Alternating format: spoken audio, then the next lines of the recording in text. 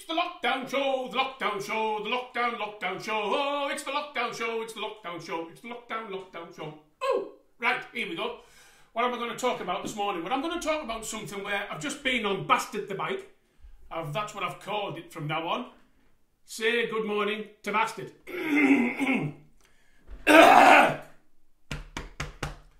Because I've just done the hour. And it's something's been a flash of the blinding obvious, shall we say. Allow me to explain. When you think about it, every minute of every hour of every day is precious, isn't it? We just don't realise how precious it is. But it's very precious because when you're lying on your deathbed, and I've been there a few times myself, you realise just how precious life is. And yet, we don't take advantage of this gift that we've been given. In the year 2000, um, I had an operation, nearly died. In fact, I was that close to death. I was lying in a ward, and there was this, you know, I think there was six beds, three one side, three the other. Might have been four and four, but three and three will do. And as you went into the ward, I was at the the top left, right next to the window. I remember lying there, think, looking out of the window at a beautiful blue sky and thinking to myself, I'm never going to feel the warmth of the sun again. I'm never going to have that smell of new mown grass shooting up my nostrils. I'm never going to hear a bumblebee buzzing, enjoying itself, looking for food. And I even thought, I'm never going to hug a tree. I'd never hugged a frigging tree, but I'm never going to hug a tree. They'd ripped open my guts. They'd taken out my large colon. They'd put a bag on my belly. They'd also taken away the anal cavity, and so they stitched two cheeks of my ass together. So I've got what's called a Barbie bum. And in end of July, beginning of August this year, that's 20 years since that operation but something I've never forgotten. And I don't know if it's true, but I'm telling you now, I believe it was. I was lying there considering so many different ways to kill myself. Even walking up to the top of the hospital and throwing myself off. Allow me to explain? I couldn't walk. But my thoughts were going there. And as I lay there, and it was at night, this ball, this, this kind of pulsating black ball came through the in through the window. And it went down the ward went to the door and then came back and hovered at the foot of my bed. I was ill. I was really really ill. I mean more ill than i think i've ever been in my life. And i knew it was time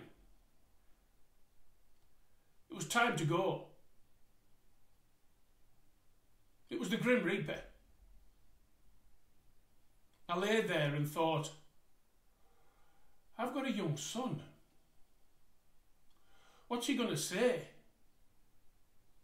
My wife was already having an affair. She didn't give a rat's ass. But I had a son. And I said to this black ball, I'm not ready yet. Got a son to bring up. I've got to teach him things. Don't take me now. And it disappeared. And I promise you, I promise you till my dying breath, I instantly started to feel better. I don't know what it was, I haven't got a clue. But I instantly started to feel better. And it was then that made me realise life. God, it's so precious but we just abuse it. And when I came out and found out about everything that was going on, I left and went to live near Northallerton. And I abused my body. I was eating all the wrong foods. I was drinking like you've got no idea. Started off with a bottle of wine. That, that went on, this is per night. That went on to a box of wine. The box of wine didn't do me any good, so I then went on to the spirits and I then started getting the litre bottle of bloody whiskey. And at seven o'clock on a night, if there was no alcohol in the house, I shot off down to Sainsbury's supermarket And I was spending that much. I then went for the cheapest bloody shit I could find. But as long as I could get the biggest bottle. You'd go to the doctors and you'd have your blood test and, you know, you'd get adverse results and the doctor would turn around and say, do you drink very much, Mr. Lear? Ah, oh, yeah, I have a couple of glasses of wine on a weekend. More like a couple of bottles of bloody whiskey. Anyhow, I'm diverting a little bit there. But over the years, I've now got to the point where I've only got 53% lung function. That's 47% of my lung doesn't work. Doesn't work. Recently had a CT scan because after the accident last year, falling out the back of the wagon, they scanned my abdominal and pelvic area, and they said, "Yeah, yeah, yeah, your bottom half of your lungs just they're just not working. They they're just basically bloody breeze blocks." And so you think, well, there's no point in doing anything, is there? I can't climb mountains. I can't do anything. I also became diabetic two years before my operation, and so I have to inject myself four times a day just to stay alive.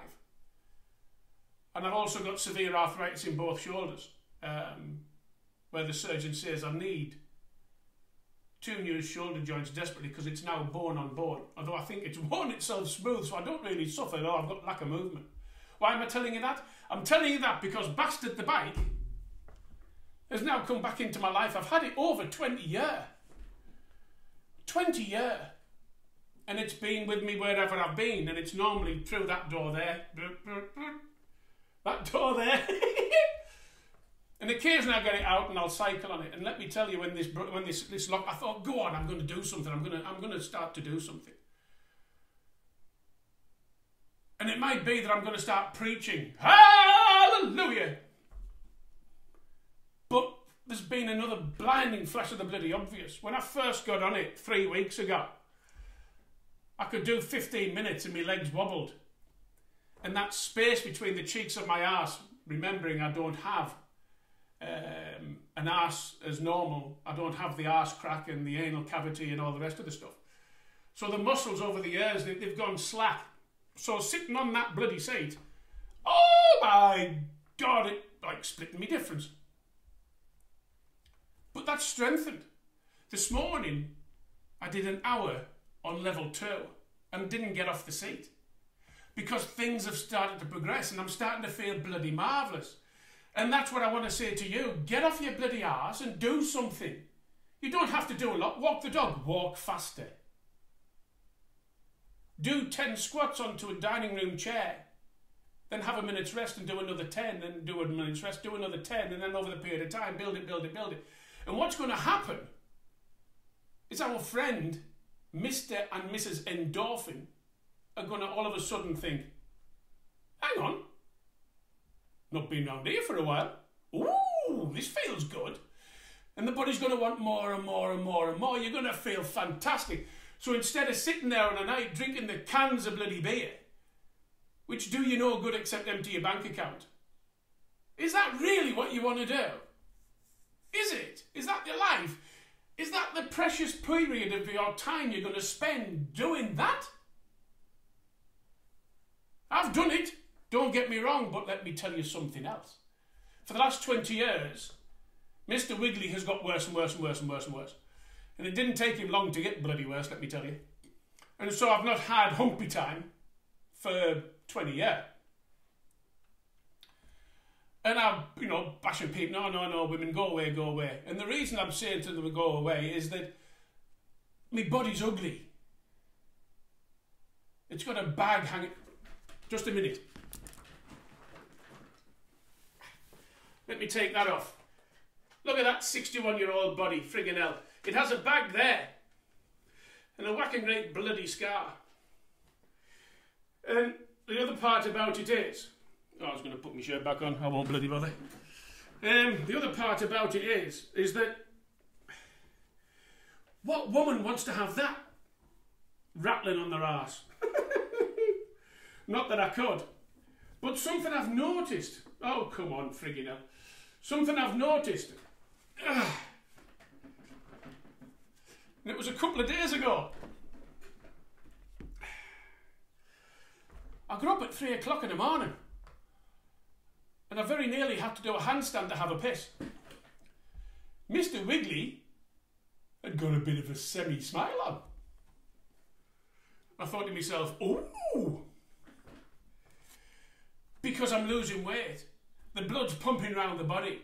It's finding places it hasn't been for a while. I don't think it'll ever get back to the way that it was a romping, stomping, crisp eating machine. But isn't that interesting? But my 61 and a half year old body, I thought was knackered. But an hour on that, I feel as if I'm bloody 30 year old again, whacking on that.